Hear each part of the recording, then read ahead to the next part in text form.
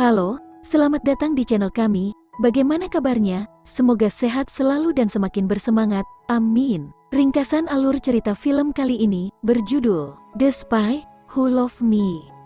Pemerintah Inggris melalui M Kepala MI6 memerintahkan James Bond untuk menyelidiki kapal selam nuklir Inggris yang mendadak hilang, sedangkan pemerintah Rusia melalui Jenderal Gogol Kepala KGB memerintahkan Mayor Amasova atau juga dikenal agen Triple X untuk menyelidiki hilangnya kapal selam Rusia.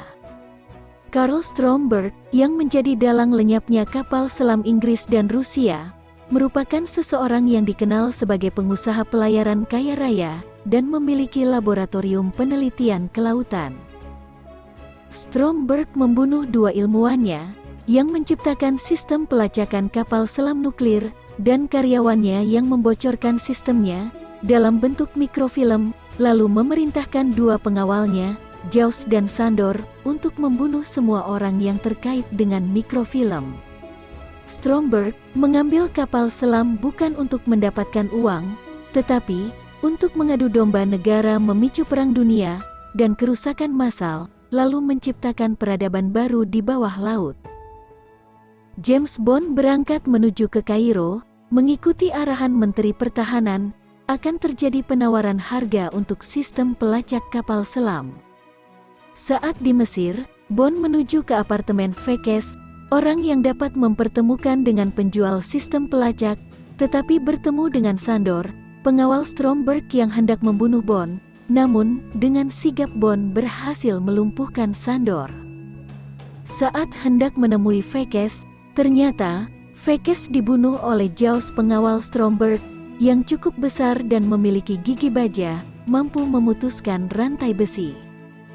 James Bond menemui Max Kalba untuk melakukan penawaran, juga hadir Amasova agen KGB yang sempat terlihat menemui Fekes sebelumnya, tetapi Kalba berakhir tewas dibunuh oleh Jaws.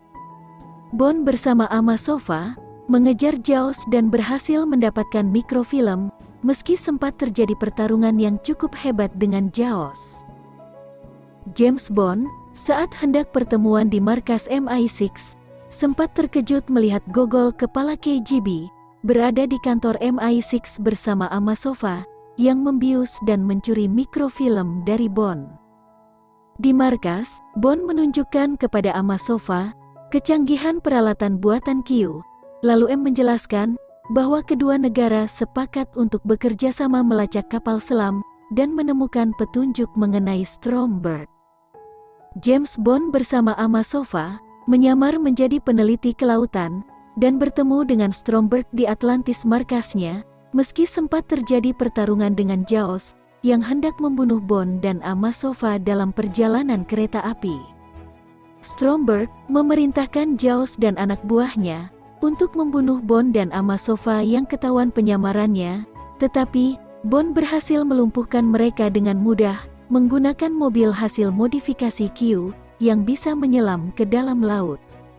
James Bond bersama Amasova menyelidiki Liparus kapal tanker milik Stromberg dengan menggunakan kapal selam Amerika, tetapi saat penyelidikan, kapal selam justru disabotase kapal Liparus.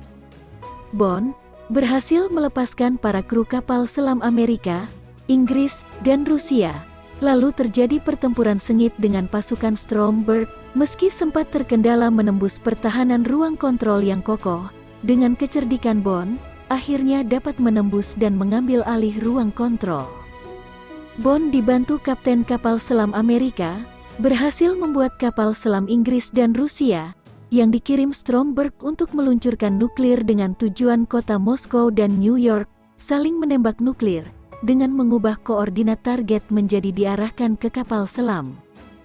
James Bond bersama kru kapal selam berhasil selamat, melarikan diri dari kapal tanker Liparus yang meledak, dengan menggunakan kapal selam Amerika. Bond, menuju markas Atlantis menggunakan motorboat buatan Q, untuk menyelamatkan Amasova, setelah diberikan waktu oleh kapten kapal selam Amerika yang diperintahkan Pentagon untuk meledakkan Atlantis. James Bond berhasil membunuh Stromberg setelah beberapa kali mencoba membunuh Bond, dan berhadapan dengan Jaws yang sempat dimasukkan ke dalam kolam hiu, tetapi Jaws berhasil selamat melarikan diri.